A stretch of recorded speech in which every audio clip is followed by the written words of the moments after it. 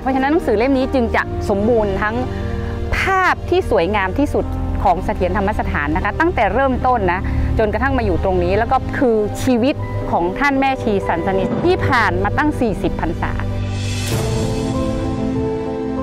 ธรรมะสวัสดีค่ะ เพชรยุพาบุญสิริจรุงรัตน์นะคะ หรือดรเพชรเทศเหนือไทยค่ะ เป็นลูกศิษย์คุณแม่รุ่นแรกๆนะคะ ตั้งแต่พระรยตารามหาโพธิสัตว์เสด็จมา ในในปีที่พี่บวชครั้งแรก ก็เป็นลูกศิษย์ของท่านเข้าๆออกๆเสถียรธรรมสถานก็เห็นเสถียรธรรมสถานเปลี่ยนแปลงทุกวันตลอดเวลา ก็รู้สึกว่าชีวิตเราเปลี่ยนเปลี่ยนมากเหมือนขึ้นลิฟต์เลยค่ะ เหมือนกับว่าเรามาทางนี้มันน่าจะถูกทางอะไรเงี้ยนะคะ ตอนนั้นทำงานอยู่บริษัทยักษ์ใหญ่แห่งหนึ่งเป็นมหาชน แล้วก็เลยลาออกมาทำธุรกิจของตัวเอง ก็รุ่งเรืองขึ้นเนื่องจากท่านแม่ชีสันสนีเนี่ยท่านก็ไปเปิดสำนักพิมพ์ให้นะคะชื่อณเพชรสำนักพิมพ์นะคะก็เห็น ท่านย้ายไปอยู่ที่หุบเขาพระโพธิสัตว์เสถียรธรรมสถานสองที่แก่งกระจานนะคะก็มีความรู้สึกว่าอยากจะทำอะไรถวายท่าน เราปิ้งขึ้นมาคำหนึ่งว่าเสถียรธรรมคำฉันทลักษณ์นะคะเพราะว่าเราเป็นคนที่รักและก็ชอบมากในการขับลำนำบทกวีอะไรต่างๆ อันนี้มันเหมือนมันเหมือนเป็นติดตัวเรามาตั้งแต่ชาติก่อนชาติปางไหนเนี่ยเราจะชอบแต่งกรอนแต่งอะไรอย่างเงี้ยค่ะ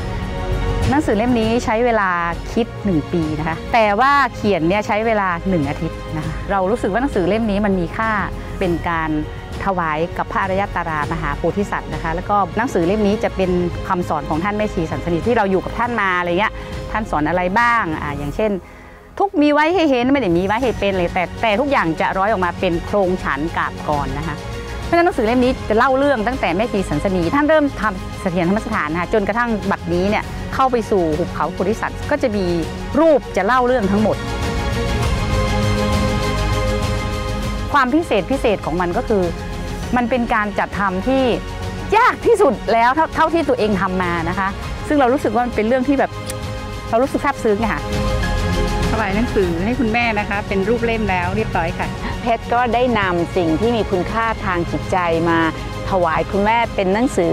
เล่มแรกถือเป็นธรรมโอสถมากเลยค่ะ เพราะว่าหนังสือเล่มนี้ทางพวกเรามีชีวิตที่กระชุ่มกระชวย คนหลายวัยนั่งอยู่ตรงนี้นะคะ นี่ลูกหลานทั้งหมดเลยทำงานอย่างม่วน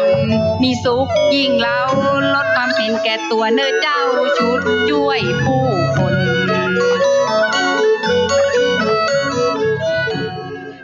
แม่ชีสันสนีพอเห็นท่านก็จะ เธอเป็นแรงบันดาลใจ เป็นทานน้ำสะอาดใสกลางใจฉัด รินน้ำใจใสชื่นทุกคืนวัน ทอประกายแห่งใยจันทร์ลงจับใจ เดือนประดับฟ้าค่ะพาฝัน